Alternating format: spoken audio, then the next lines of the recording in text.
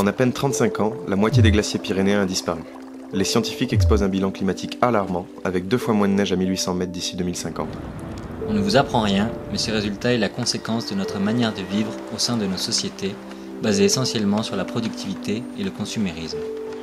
Des efforts conséquents sont à à l'échelle planétaire évidemment, mais on a aussi tous notre part à jouer dans notre manière de vivre.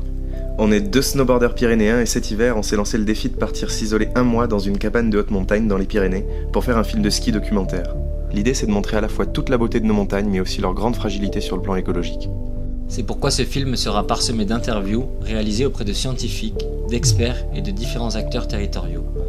Notre volonté, c'est aussi de proposer une manière différente de faire du ski.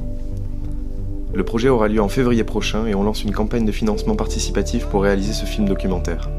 Alors on fait appel à vous, à tous les amoureux de la montagne, aux skieurs, aux snowboarders, aux professionnels, aux médias, aux marques. On veut faire un film de ski, mais on tient vraiment à lui donner une dimension pédagogique. Alors si tu penses que ce projet a du sens à tes yeux, aide-nous à partager cette vidéo, et si tu peux en plus nous donner un coup de pouce financier, ce serait juste incroyable. Merci, Merci beaucoup